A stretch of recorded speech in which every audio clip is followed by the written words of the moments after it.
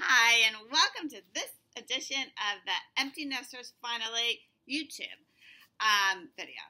Anyway, so this week we're going to talk about communication in the nest, which you think would be so much time, we would have everything available to us, but there's different stages of communication. Like when you first get engaged, you want to know everything you can about the other person, and it's so important that you can figure out if you truly want to spend the rest of your life with that person. I mean, in all honesty, like if Brad would have told me that he only likes to use big pens, I would have thought that was the most fascinating thing in the world. He Could, he could have told me anything. And I just would have thought that I would have jumped off the highest building for him because he was the most important person to me. Then you then we had actually gone and heard a rabbi speak and he said that 10 minutes of conversation is so important in a relationship and we're like looking at each other like Yeah, you have plenty of t- more than ten minutes. yeah like he's nuts. Like we could do 10 minutes. That's easy.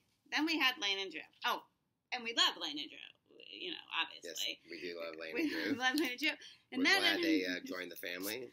and then it became what he meant 10 minutes of conversation he meant like really in-depth conversation and with them it was more like can you take them to karate did they take a bath yeah more logistical things and not really not really the conversation about what's Us. your yeah About what's your what we- favorite color Green. no. Karen's favorite color is. We'll get to that later. and I'm still trying to figure that with that one out. And then you become empty nesters, and then you realize that now you're going back to the conversations you kind of had when you were engaged, the in depth conversations, but you really don't want to know. Like, honestly, like, I could care less what type of pen he uses, although I think he likes gel pens now. No? Yes, we do. But in all honesty, it's really how you want to live the rest of your life because you know that you found the person that you love so much and and that you want that's him and that you where do you want to live? How do you want to live? Like how do you want to spend time with your family your parents your grandkids your kids? Those are the important conversations to have. Um, and even though Brad would probably like a little less conversation, To quote uh, the famous philosopher Elvis Presley, "A little less conversation, little more action." anyway, so what I'm saying to you is, as an empty, communicate, talk, and, and and talk about the little stuff. Talk about what their favorite pen is or what their favorite color is, but really talk about the big stuff because it's your family, you know. And don't forget, it's important to have a cup of coffee with each other in the morning. Thank you, Wawa. Thank you, Wawa. And and and just get to the tough stuff because even though there might be some awkward silences, Brad probably likes looks forward to the awkward silences. Those are very exciting. Just realize that in It's the like a end, nap during those awkward silences. It's easy. just Go on, please. remember, And by the way, Karen's favorite color is purple.